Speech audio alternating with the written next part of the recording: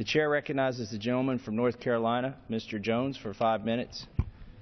Mr. Speaker, I am on the floor today to bring attention to an article from the World Affairs Journal titled Money Pit The Monstrous Failure of U.S. Aid to Afghanistan.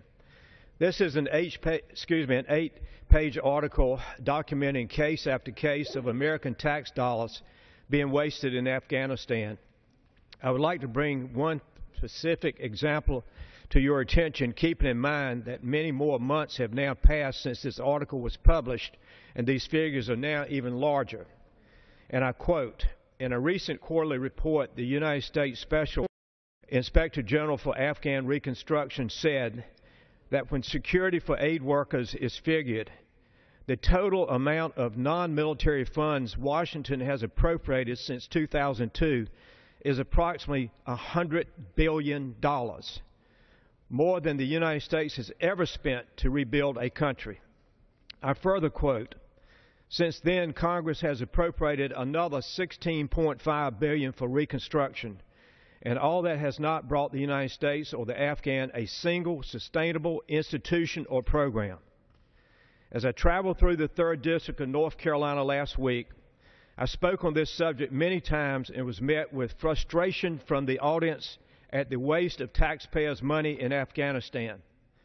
When I went on to explain that the Afghan parliament was able to vote on the bilateral strategic agreement that we are in the process of finalizing with Afghanistan, but we have not even debated the issue in the House, the individuals with whom I spoke were incredibly disappointed in Congress.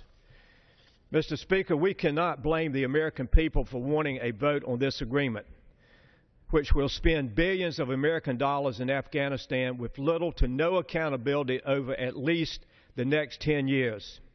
This is not a partisan issue.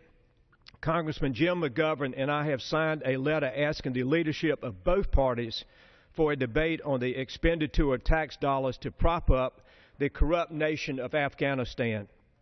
To further explain why this debate is necessary, I will briefly read two more examples from the Money Pit article and I quote, the Special Inspector General's office, widely known as SIGAR, noted that for the 2012 and 2013 fiscal years, the United States has been providing Afghanistan practically the most corrupt nation on earth with $1.1 billion in fuel for the Afghan military. Even though the United States has made no effort to determine how much fuel the military actually requires. And I further quote, the article goes on to cite a GAO report stating that $130 million Afghan contractors built a large shower bathroom facility without holes in the walls or floor for plumbing and drains. What's more, the walls were constructed of crumbling cinder blocks. The report blamed insufficient oversight. Mr. Speaker, it is time that we bring to a close the era of waste, fraud, and abuse of the United States resources overseas and in Afghanistan. Mr. Speaker, I hope the leadership of both parties will allow this Congress to debate whether we should stay in Afghanistan for 10 more years.